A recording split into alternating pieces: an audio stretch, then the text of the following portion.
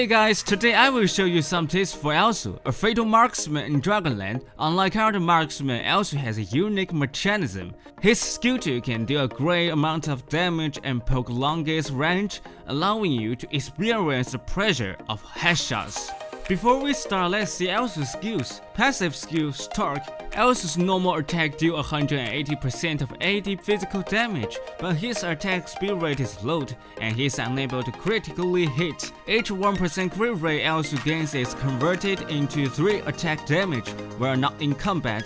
Elsu can harness to obstacles and gain 16% to 30% movement speed, depending on his level. His passive brings him great normal attack deal, converting crit rate into physical attack, which enables Elsu to attempt higher attack by accumulating crit rate. This attack bonus benefits Elsu with higher damage of both normal attack and skills. Besides stalking to the enemy quietly when close to the edge of the terrain, Elsu can do explosive damage or real low blood heroes. Skill 1 Sentinel Elsu places a monitoring device granting visibility. Up to 3 monitoring devices can be placed.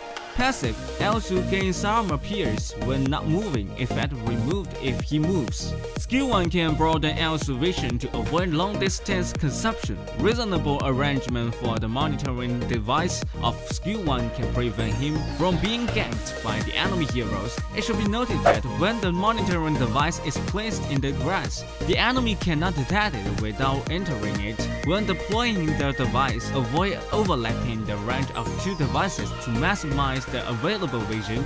Elsu's passive skill of skill 1 allows him to attempt physical penetration without moving. When attacking the enemy with normal attack or sniping of skill 2, do not move randomly and stalk to increase the damage. Skill 2 Snipe Elsu aims and snipes at the target, dealing physical damage and inflicting slow. Elsu's skill 2 boasts high damage and long sniping range, but it needs preparation to aim, so you should try to wait till the aim is completed before releasing skill 2 to avoid the bullet falling. Elsu's skill 2 will have a red line of the sight that can be seen by the enemy when aiming. When releasing, you can aim backward at the hidden aim line. After aiming, you can adjust the direction to release the skill to avoid the enemy's vigilance. When Nels is near or close to the enemy's target, the skill 2 can hit the enemy without aiming and instantly releasing. Skill 3 Disengage Elsu leaps backward and fires in the target direction, dealing damage and reducing the target's movement speed. After landing, Elsu gains movement speed and this effect is cancelled when he uses skills or attacks. Elsu's skill 3 is a life-saving one.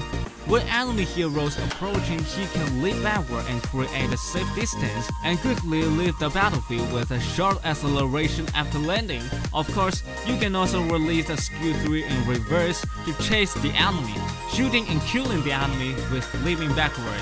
A qualified sniper must master the trend of the battlefield to complete the deadly snipe, therefore El's skill 1 is the core and main one, and the scope of vision attempt will expand with the upgrade of skill level.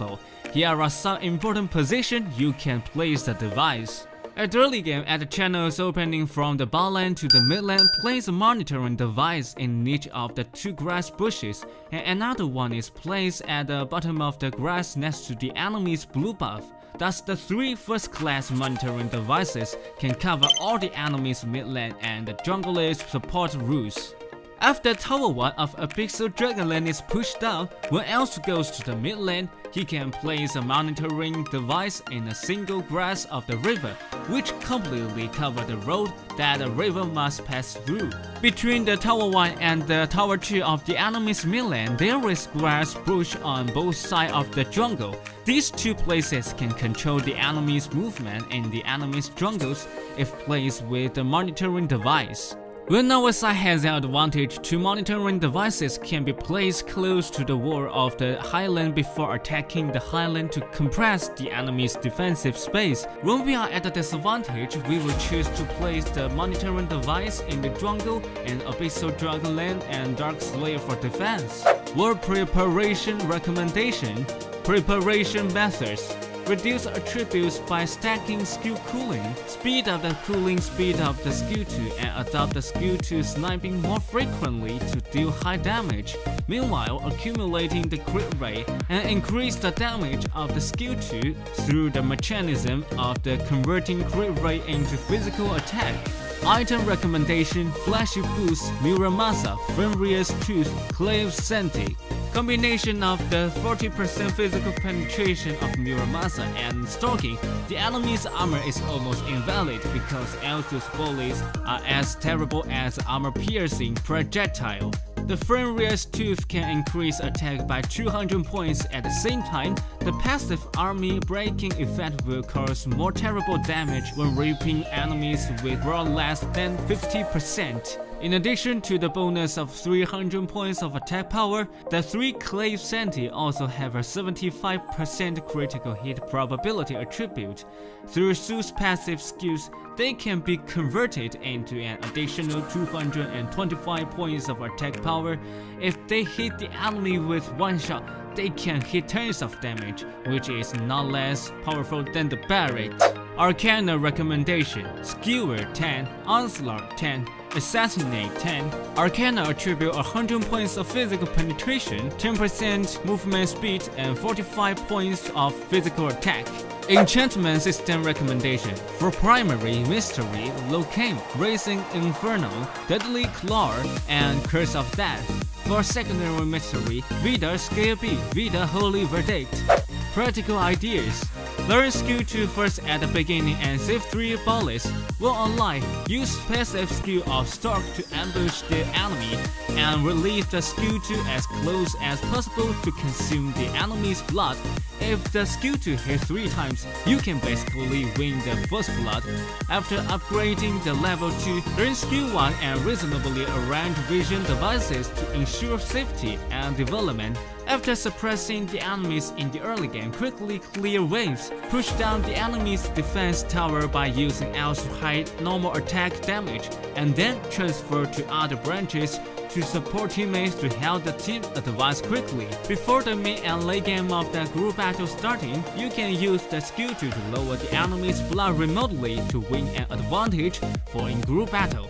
If we can continuous hit or eventually snipe the enemy's key output back, we will come to win the group battle. After the bullets start by the skill 2 are consumed, use the normal attack to continue dealing damage. When the enemy is close, use the big move to escape and ensure our own safety. As an equipped sniper hidden in the dark also is a nightmare for the enemy. The enemy will know when a powerful and terrible bullet will fall and read their life.